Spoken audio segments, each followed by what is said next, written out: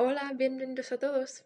Vážené dámy, vážení pánové, mé jméno je Kristýna Bečvářová a vítám vás u dalšího španělského videotypu, ve kterém se tentokrát zaměříme na slovíčko después, a ne co bude potom. Eh, tedy naučíme se pracovat s tímto slovem, které znamená poté nebo později a vysvětlíme si, na co si dát pozor. Co se týče významu, již jsem nastínila, že slovíčko después, después znamená poté. Používá se tedy pro vyjádření nějaké časové posloupnosti. Nepleťte si ho s chvílemi, kdy chcete říct, že uh, třeba je něco polohově po, poté, respektive za něčím. To bylo jiné slovo. Después je opravdu pro vyjádření časové. A v tom významu tedy poté, později, Uh, to není žádný problém, můžeme ho normálně použít tak, jak bychom to řekli třeba v češtině. Pojďme se tedy podívat na nějaký příklad. Ahora estoy cocinando y después vamos a comer juntos.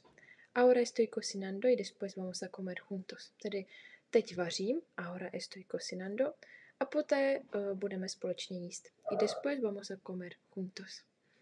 Druhý příklad. ¿Qué hacemos después? ¿Qué hacemos después? Tedy co budeme dělat poté nebo později.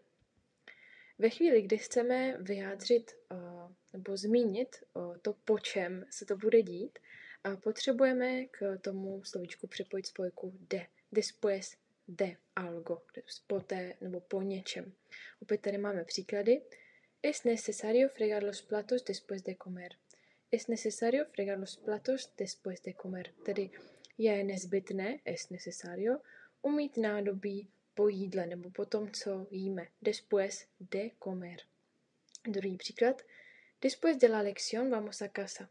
Después de la lección vamos a casa. Tedy po lekci jdeme domů. Pojďme si to tedy ještě jednou shrnout. Slovíčko después znamená poté nebo později.